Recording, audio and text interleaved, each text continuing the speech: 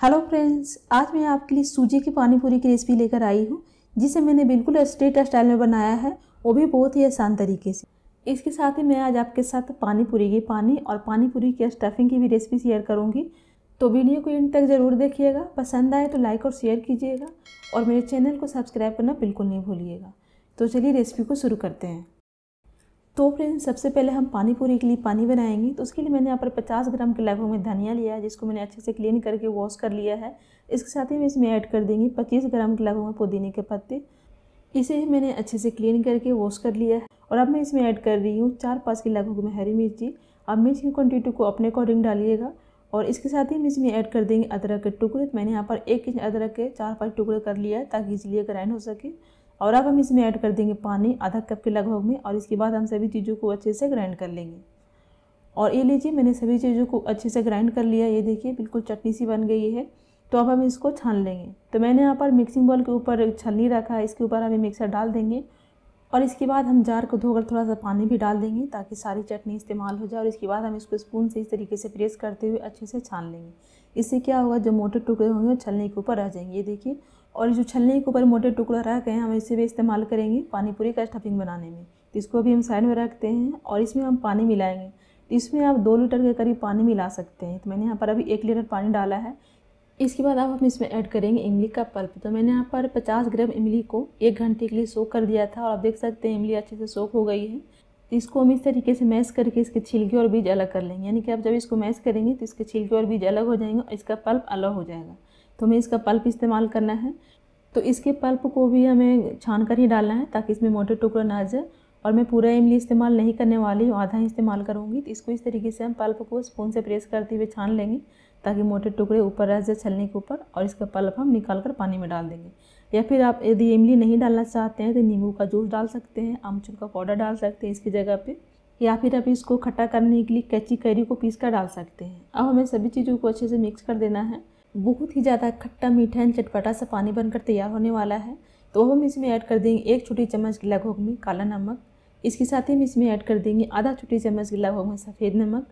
और अब हम इसमें ऐड कर देंगे कुछ मसाले। तो मसालों मैंने लिया है एक चौथाई छोटी चम्मच लगभग में काली मिर्ची का पाउडर। एक छोटी चम्मच हम इसमें ऐड कर देंगे भुने हुए जीरे का पाउडर। इसके साथ ही हम इसमें ऐड कर देंगे एक छोटी चम्मच चाट मसाला और अब मैं इसमें डाल रही हूँ एक छोटी चम्मच के लगभग में जलजीरा का पाउडर। अब इसकी जगह पर पानीपुरी मसाला का इस्तेमाल कर सकते हैं। इसके साथ ही हम इसमें ऐड कर देंगे एक चौथाई छोटी चम्मच के लगभग में हींग। इससे बहुत अच्छा टेस्ट आता है। एक चौथाई छोटी चम्मच लगभग मैंने डाल दिया है चिली फ्लेक्स और थोड़ा सा मैंने डाला है बारीक चॉप किया हुआ हरा धनिया। और अब मैं इसमें डाल रही हूँ दो चम्मच लगभग में बारीक चॉप किया हुआ प्याज। यदि आपको प्याज पसंद नहीं है पानी पूरी पानी में तो इसको स्किप कर दीजिएगा। मुझे अच्छा लगता है, इसलिए मैंने दो चम्मच बारीक चॉप करके डाल दिया है। और अब मैं इसमें डाल रही हूँ एक चौथाई कप के लगभग में बूंदी और इसके बाद हम सभी चीज़ों को अच्छे से मिक्स कर देंगे। तो यहाँ पर आप नमक टेस्ट कर लीजिएगा, यदि कम लगे तो इसमें थोड़ा सा नमक डाल दीजिएगा और ज़्यादा लगे तो इसमें पानी मिला दीजिएगा। तो मैंने टेस्ट किया था तो नमक थोड़ा सा ज़्यादा था, इसलिए मैं इसमें और पानी मिला रही हूँ, आधा लीटर के लगभग में। और इसके बाद हम सभी चीज़ों को अच्छे से मिक्स कर देंगे और ये बहुत ही ज़्यादा चटपटा सा पानी पूरी के लिए पानी बनकर तैयार रहती है। इसको अभी हम रखते हैं साइड में और यहाँ पर मैंने लिया है 200 ग्राम के लगभग में आलू। इसको मैंने उबाल कर मैश कर लिया है। इसमें हम ऐड कर देंगे एक मीडियम साइज़ का प्याज, बारीक चॉप किया हुआ। इसके साथ ही हम इसमें बारीक चॉप किया हुआ हरा धनिया डाल देंगे और दो तीन कटी हुई हरी मिर्ची डाल देंगे। यदि आप बहुत ज़्यादा तीखा पसंद नहीं करते हैं तो मिर्ची कम डालिएगा। और अब हम इसमें ऐड कर देंगे नमक स्वाद अनुसार एक चौथाई छोटी चम्मच लगभग में भुने हुए जीरे का पाउडर। आधा छोटी चम्मच में इसमें ऐड कर देंगे चाट मसाला। एक चौथाई छोटी चम्मच काली मिर्ची का पाउडर। एक चौथाई छोटी चम्मच गरम मसाला। इसमें गरम मसाला डालना ऑप्शनल है, आप चाहे तो स्किप कर सकते हैं। और अब हम इसमें ऐड कर देंगे जो हमने पानी पूरी के लिए चटनी तैयार किया था और छानने के बाद जो छलनी के ऊपर मोटा टुकड़ा रह गया था, वो हम इसमें ऐड कर देंगे। इससे स्टफिंग में बहुत ही अच्छा टेस्ट आता है, क्योंकि इसमें अदरक, मिर्च और धनिया, पुदीना सभी चीज़ों का टेस्ट है और इसके बाद हम सभी चीज़ों को अच्छे से मिक्स कर देंगे।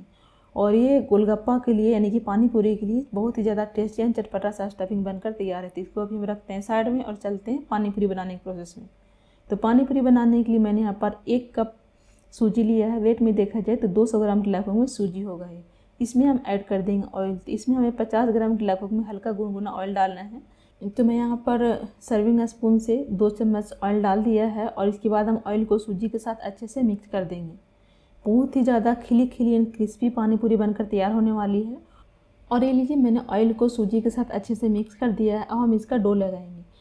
और इसका डो लगाने के लिए हमें हल्का गुनगुना पानी चाहिए, यानी कि हल्का गर्म पानी से हम इसका डो लगाकर तैयार करेंगे। और इसका डो लगाने में करीब आधा कप के लगा हुआ पानी का इस्तेमाल हो जाएगा। और इसका डो हमें बिल्कुल सॉफ्ट लगाना है, क्योंकि सूजी बहुत ज़्यादा पानी सूखती है। तो हमें इसी तरीके से थोड़ा थोड़ा करके पानी डालते जाएँगे और इसका बिल्कुल सॉफ्ट डो लगाकर तैयार करेंगे। और आप देख सकते हैं, मैंने बिल्कुल सॉफ्ट डो लगाया है। थोड़ी देर में सूजी सारा पानी सोख लेगी और डो हमारा टाइट हो जाएगा। इसको हमें अच्छे से मिलाना है और इसके बाद हम इसको पटकेंगे। और इसको हमें करीब पंद्रह से बीस बार पटकना है इस तरीके से।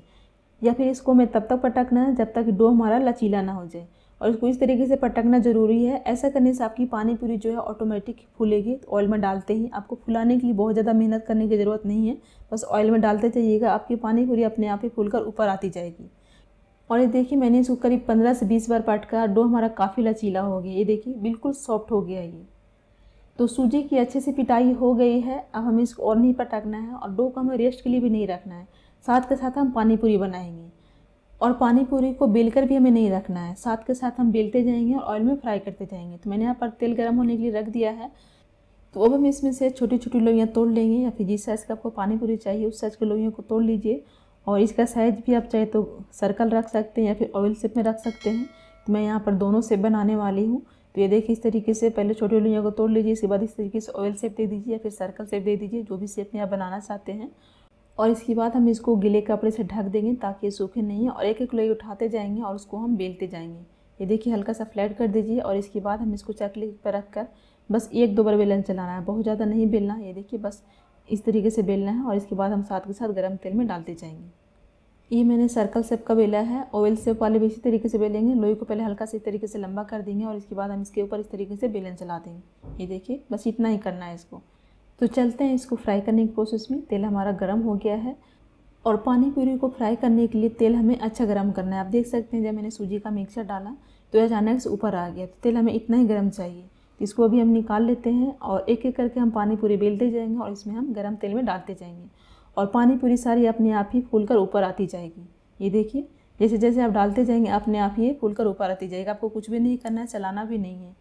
जब सारे पानी पूरी फूल कर ऊपर आ जाएगी, इसके बाद हमें इसको चलाना है और अच्छे से क्रिस्पी होने तक फ्राई कर लेना है। आप देख सकते हैं, हमारी पानी पूरी अच्छे से फ्राई हो गई है और कितना बढ़िया से फूली है। तो इसको अभी हम निकाल लेते हैं और बाकी बची हुई पानी पूरी को भी हम सेम तरीके से फ्राई करके तैयार कर लेंगे। तो फ्रेंड्स बहुत ही ज़्यादा टेस्टी बिल्कुल स्ट्रीट स्टाइल पानी पूरी बनकर तैयार है। आप देख सकते हैं कितना ज़्यादा क्रिस्पी बनकर तैयार हुई है। तो सेम स्टेप को फॉलो करते हुए आप इसे ज़रूर ट्राई कीजिएगा और इसे ट्राई करने के बाद आप मुझे कमेंट में ज़रूर बताइएगा आपकी रेसिपी कैसी लगी।